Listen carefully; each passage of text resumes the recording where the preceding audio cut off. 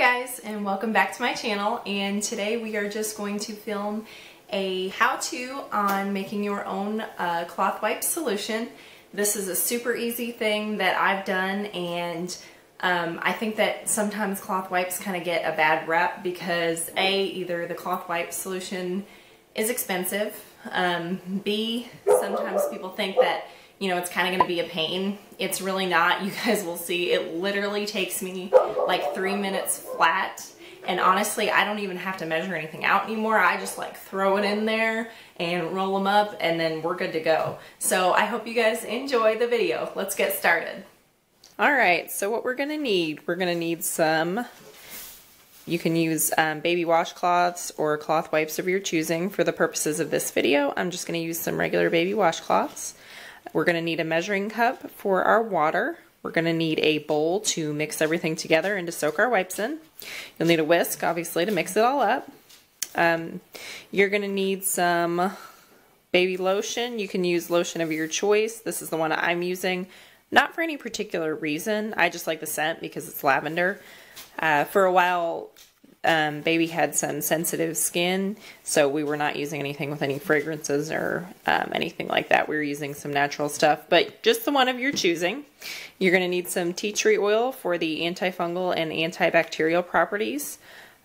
And if you know that brand, comment below if you recognize it. But I will also link everything in the description box um, in case you just want to use exactly what I used. The uh, next thing is some coconut oil for it just kind of helps make everything just kind of soft and um, helps to keep moisture, not moisture in baby skin, but just kind of keep everything soft and um, almost works as, because you can actually use coconut oil as a cloth diaper cream too. So when you have it on your cloth wipe solution, it really helps to help babies butt not dry out. And then you're going to need um, whisk, mix everything together, and then somewhere to put your cloth wipes when you're done. You can use this or you can put them in a regular wipes warmer. It really doesn't matter. It's just kind of whatever your preference is. All right, so I went ahead and put a tablespoon of our coconut oil in there. And now I'm just going to pour in three cups of our hot water.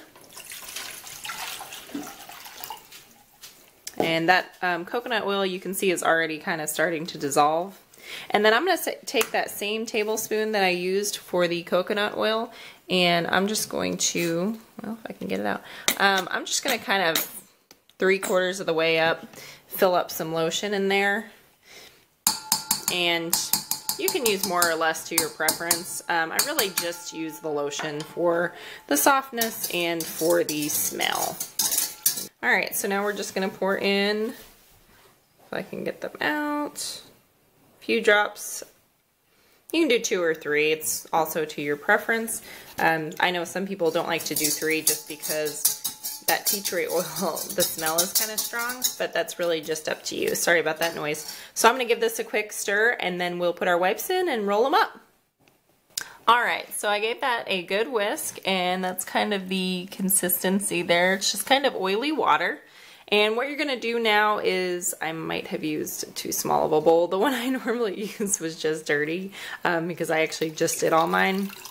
But You'll just put your wipes in. You can do them all at one time usually. Um, if I use the really thin baby washcloths, which are actually my preference, I will just put them all in there and grab them out one, as, one at a time as I need them.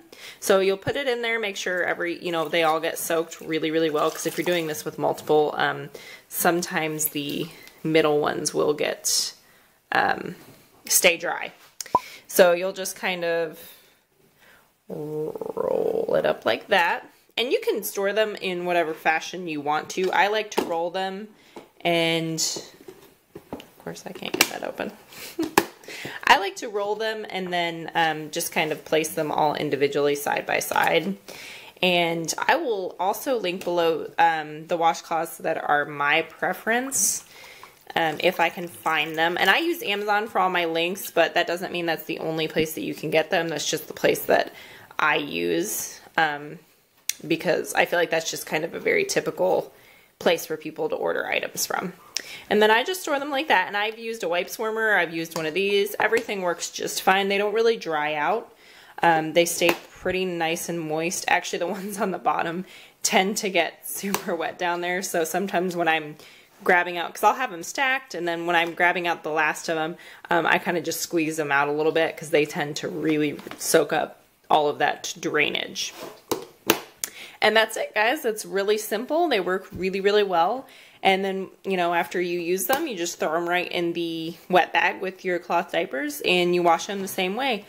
And they've always worked really good and they've helped, um, even when we have diaper rashes, if we've been using disposable wipes for a while, I will switch back to these just because they keep babies, um, they keep babies' bum a lot more moist and a lot more uh, less likely to get a rash. So if you have any questions, please comment below or um, you can also feel free to email me. I'll have that linked below too. And if you liked this video, give it a thumbs up or thumbs down, you know, whatever's your preference.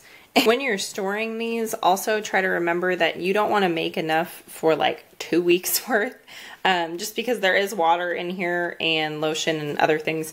And, you know, these are cloth. They will start to mold. You know what I mean? Don't mind the staining on this one. That just happens sometimes. I don't know what it got washed with, but, um, you know, they will tend to mold because, you know, it's moisture and cloth. So you want to make sure I usually make enough to get me through until I'm washing my cloth diapers again. So I'll usually make two days worth, maybe three, like very, very max. But I wouldn't make any more than that just because you don't want to end up getting to these bottom ones and then finding out that there's mold because nobody has time for that.